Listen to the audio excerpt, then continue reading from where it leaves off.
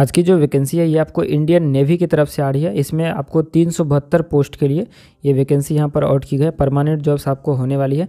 और इसमें JEE level का यहाँ पर आपको जॉब्स देखने के लिए मिल रही है, जिसमें कि आपको लेवल सिक्स की सैलरी मिलने वाली है, पैंतीस हज़ार चार सौ से लेकर के एक लाख बारह हज़ार चार सौ तक में आपको ये पे लेवल पर आपको जो जेई के पोस्ट पे सैलरी मिलती है, वही यहाँ पर भी आपको सैलरी मिलने वाली है। और इसमें भी डिप्लोमा वाले अप्लाई कर सकते हैं और डिग्री वाले अप्लाई कर सकते हैं। और अगर आप डिप्लोमा करने के बाद बी बी कर रखें तो भी यहाँ पर अप्लाई कर सकते हैं। यहाँ पर फ्रेशर कैंडिडेट बिल्कुल एलिजिबल हैं और बहुत सारे ब्रांच है, जैसे कि civil mechanical electrical electronics computer science instrumentation control बहुत सारे ब्रांच है। सभी के लिए यहाँ पर वैकेंसी दी गई है। केमिकल वालों के लिए वैकेंसी है तो वीडियो को एंड तक ज़रूर देखते रहिएगा, जिनसे कि सभी कुछ पता लगेगी। और इसको जो भी अप्लाई अप्लाई आप कर सकते हैं फिफ्टीन ऑफ़ मई से स्टार्ट होगा। अभी इसका फॉर्म स्टार्ट नहीं हुआ, तभी आप लोग को वेट करना होगा। पहले जान के रखिए, जब से स्टार्ट होगा तो मैं आपको इन्फॉर्म कर दूँगा तो आप इसको अप्लाई कर लीजिएगा। तो चलिए अब डिटेल में डिस्कस करते हैं, कैसे इसको अप्लाई करना है कौन कौन इसको अप्लाई कर सकता है। अभी तक लाइक नहीं किया तो वीडियो को ज़रूर से लाइक कर दीजिएगा। और चैनल को ज़रूर से सब्सक्राइब करके बेलाइकन प्रेस करके ऑल सिलेक्ट करके रखिएगा, ताकि जब भी मैं वीडियो अपलोड करूँ तो उसकी जो नोटिफिकेशन है, सबसे पहले आपको मिलेगी। चलिए वीडियो को स्टार्ट करते हैं। देख सकते हैं, ये इसका ऑफिशियल नोटिफिकेशन है और ये जो नोटिफिकेशन है, आपको हमारे टेलीग्राम चैनल पर मिल जाएगी। तो टेलीग्राम चैनल से ज़रूर से ज्वाइन होकर करिएगा उसका जो लिंक है वीडियो के डिस्क्रिप्शन में या कमेंट सेक्शन के पिन कमेंट में दिया गया ये वैकेंसी अभी इंडियन नेवी की तरफ़ से आ रही है। Government of India ministry of defence के अंदर में आता है। Recruitment of civilian personnel in Indian navy दो अभी ये इसमें वैकेंसी निकली है Indian navy civilian entrance test के माध्यम से, जिसमें कि यहाँ पर रिक्रूटमेंट ऑफ़ चार्जमैन सेकेंड ये वैकेंसी आपको यहाँ पर रहने वाली है, जिसका नोटिफिकेशन यहाँ पर दिया गया एक दो ये है। तो ज़रूर से आप इसमें ट्राई कीजिएगा अप्लाई कीजिएगा, इसमें परमानेंट जॉब्स आपको होने वाली है। इसमें बहुत सारे यहाँ पर पोस्ट हैं, सभी को मैं आपको बारी बारी से एक एक करके बताऊँगा। इसमें ऑनलाइन एप्लीकेशन इन्वाइट किया गया सभी कुछ मैं आपको एक एक करके बता रहा हूँ। यहाँ पर जो पोस्ट का डिटेल्स मैं आपको ऑनलाइन अप्लाई इसको आप कर सकते हैं।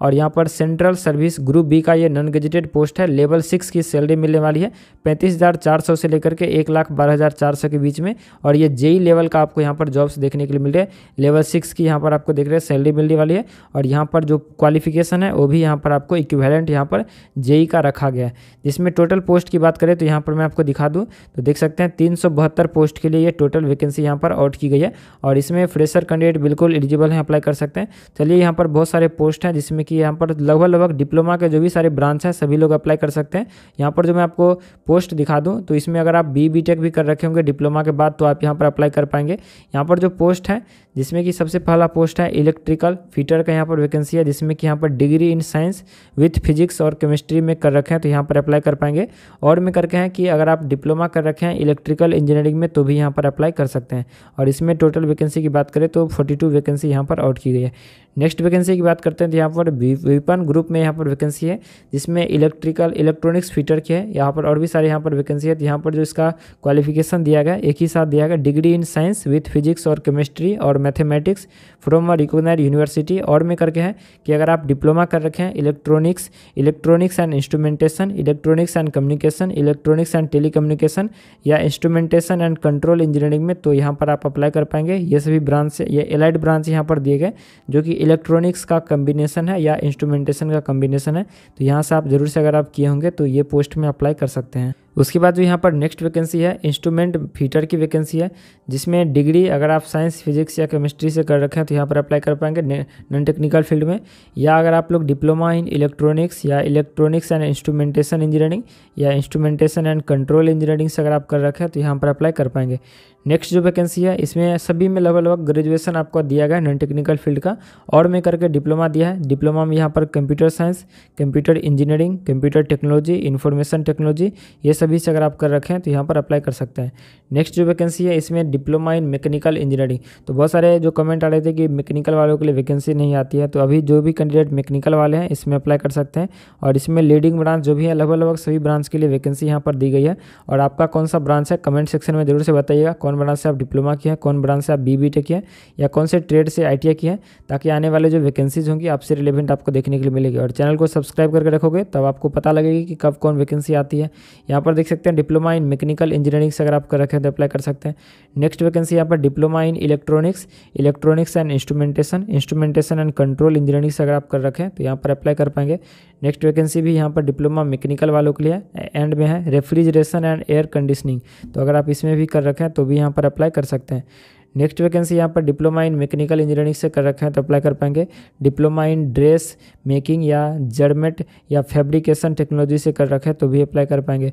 उसके बाद फिर से डिप्लोमा इन मैकेनिकल इंजीनियरिंग दिया गया उसके बाद बात करें तो यहाँ पर आपको डिप्लोमा इन पेंट टेक्नोलॉजी या केमिकल इंजीनियरिंग इसके लिए भी बहुत कम वैकेंसी आती है। तो जो भी केमिकल इंजीनियरिंग से रिलेटेड कमेंट किए थे, वो लोग अभी इसमें अप्लाई कर सकते हैं। केमिकल वालों के लिए यहाँ पर वैकेंसी है। उसके बाद यहाँ पर डिप्लोमा इन सिविल इंजीनियरिंग तो अगर आप लोग सिविल इंजीनियरिंग से डिप्लोमा कर रखें तो उसके लिए वैकेंसी है आप यहाँ पर भी अप्लाई कर सकते हैं। उसके बाद यहाँ पर सबसे लास्ट में पी पी एंड सी में है production planning and control group में, जिसमें कि diploma in engineering in appropriate discipline as mention as the serial number one two A B तो यहाँ पर आपको जो भी कैंडिडेट ऐसे हैं, जो डिप्लोमा अप्रोप्रिएट ब्रांच से कर रखे हैं, जैसे कि सिविल इंजीनियरिंग में वन टू ए बी में तो यहाँ पर अप्लाई कर सकते हैं।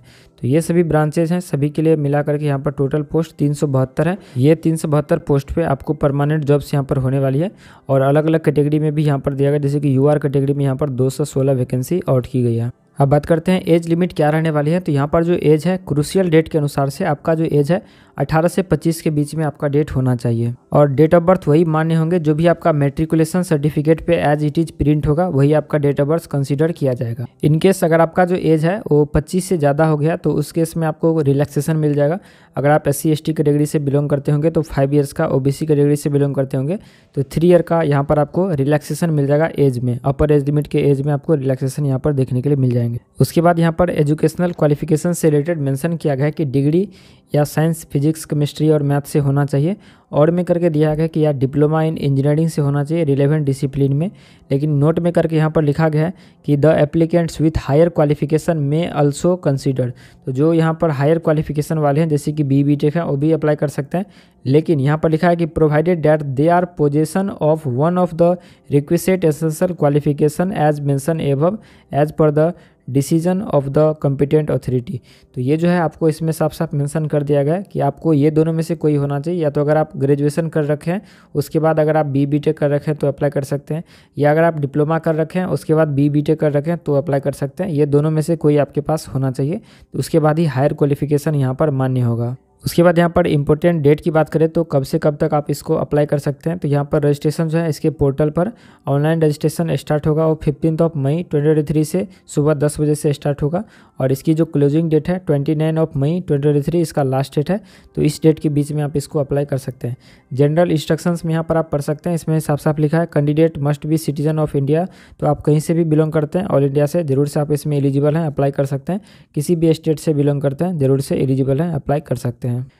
अब बात करते हैं कि इसको कैसे अप्लाई करना है हाउ टू अप्लाई तो मैं आपको वीडियो के डिस्क्रिप्शन में लिंक दे दूँगा। अभी इसका लिंक वैसे एक्टिवेट नहीं हुआ, कब से अप्लाई होगा तो ये 15 मई 2023 से 10 बजे से स्टार्ट होगा और इसकी लास्ट डेट 29 मई 2023 रहने वाली है। तो आप Indian join Indian navy dot G O V dot in इसके ऑफिशियल वेबसाइट पर विज़िट करके आप लोग यहाँ पर ज्वाइन नेवी पर क्लिक करके वे टू ज्वाइन सिविलियन उसके बाद चार्ज मैन की वैकेंसी आपको यहाँ पर दिख जाएगी। तो वहाँ पर आप क्लिक करके इसको अप्लाई कर सकते हैं। अब बात करते हैं एप्लीकेशन फ़ी आपको कितने पे करने होंगे। होंगे तो एप्लीकेशन फ़ी यहाँ पर लिखा है।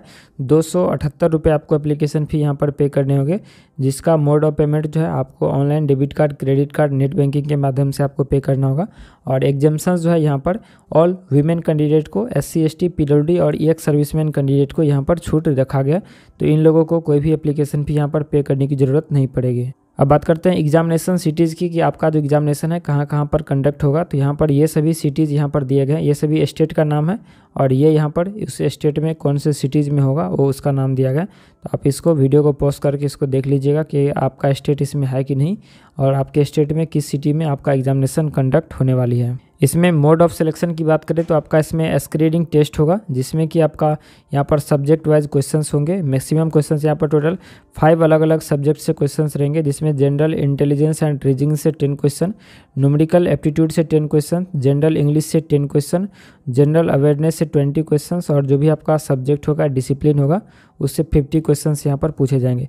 इसके लिए यहाँ पर इंडिकेटिव सिलेबस भी दिया गया फॉर एग्जामिनेशन। तो जो भी आपका ब्रांच हो या जो भी डोमेन हो, उसके अनुसार से आप देख सकते हैं और यहाँ से आप प्रिपरेशन कर सकते हैं। तो आई होप आप इसको समझे होंगे, जो भी मेन इन्फॉर्मेशन था मैंने आपको बता दिया। फिर भी अगर आपके मन में कोई कन्फ्यूज़न डॉट क्वेरी रह गया होगा तो नीचे कमेंट करके पूछ सकते हैं। मैं ज़रूर से आपका रिप्लाई देने की पूरी कोशिश करूँगा। मिलता है नेक्स्ट वीडियो में। तब तक के लिए शुक्रिया और थैंक यू वीडियो को ज़रूर से लाइक शेयर सब्सक्राइब कर दीजिएगा। और कमेंट सेक्शन में जो भी आपका ब्रांच हो, किस ब्रांच से आप डिप्लोमा किए हैं, किस ब्रांच से बी बी टेक हैं, कौन से ट्रेड से आई किए हैं कमेंट सेक्शन में ज़रूर से बताइएगा, ताकि आने वाले जो वैकेंसीज होगी या वीडियोज़ होंगे, आपसे रिलेवेंट आपको देखने के लिए मिलेगी।